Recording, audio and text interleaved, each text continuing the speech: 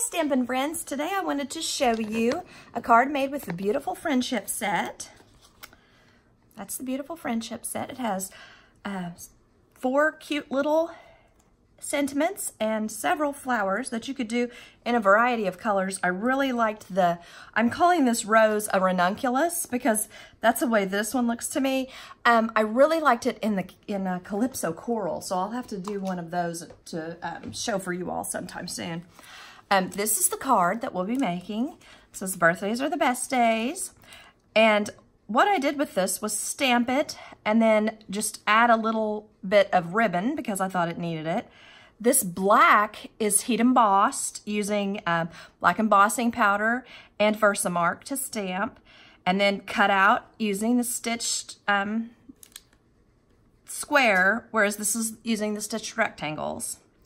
Then I just put these, these are from the iridescent sequins, and I just put those on, three of those randomly on the card to add a little interest. And I didn't worry where there's an overlap here. I, I just kind of made it be okay. Um, you could easily just make a um, mask out of um, typing paper, um, copy paper, but I kind of liked the kind of impressionistic look of it just being blurred together. Um, one thing I wanted to say is this Daffodil Delight, it's stamped off once, but um, this is actually supposed to go in the center of the of this flower, but I wanted to pretend that this was a yarrow flower.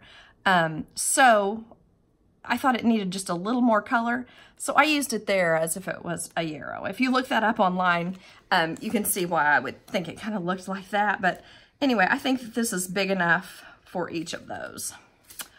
Okay, so to start, I start with Blushing Bride. And I do it close to the edge at the top. Let me make sure I got it right side up. Yes, I do. Um, I don't know, you've noticed, I'm sure, sometimes I accidentally stamp on this side, so I wanted to be sure that, you know, I noticed that I'm stamping on the top of the stitched paper. Uh, so I do it as close up to the edge as I can without going too far over. So there's that. And then you'll notice this is the Distinktive set, so there is some variation in color. Like some spots are lighter, some spots are darker, of that kind of thing. So now I'm using the Seaside Spray, which is the nice light blue, which is the base color of our card. And I'm stamping it right down here. Let's see, how did I have that? I want to do it the same way. I think it was like this. That. Ta-da. Okay, and then I add my um, Highland Heather which I think these kind of look like little um, lilac sprigs.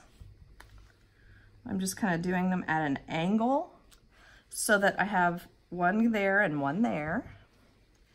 And this one, it's the same thing, it's just going the opposite direction up here. Okay, then it's time for my green leaves.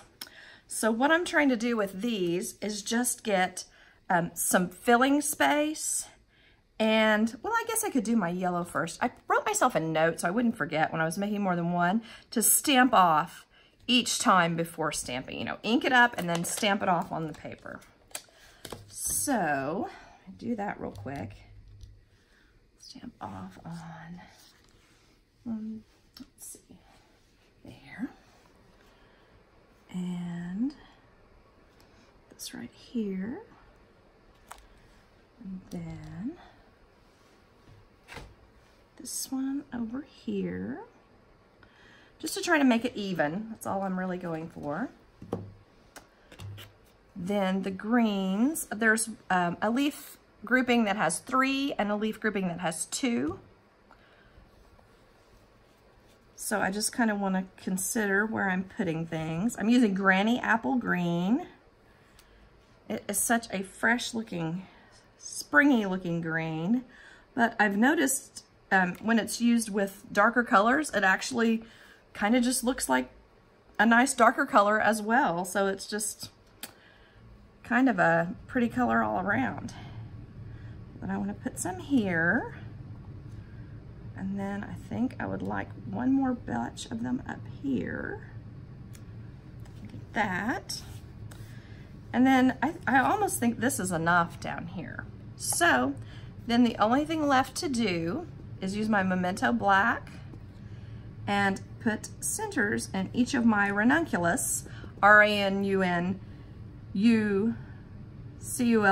ranunculus. It's, it's all U's except for the first A, ranunculus. Okay, so then after I did that, I'll, I let this dry a little longer than I have here, and then I just put Wink of Stella over the black. And that's a good way. I did not want to um, stamp this like, like I did the sentiment. You know, I stamped it in Versamark and used black embossing powder. I don't like to take that kind of chance. Of course, I use my, my embossing buddy with this um, to keep it from um, sticking and having splatters of black. But when something is like this and you've, you've already finished your work with it, I didn't want to take a chance of getting little black splatters all over unless that's what you're going for, which could also be pretty. So that's why I chose to use the black memento and then go over it with the Wink of Stella. Anyway, thanks for watching.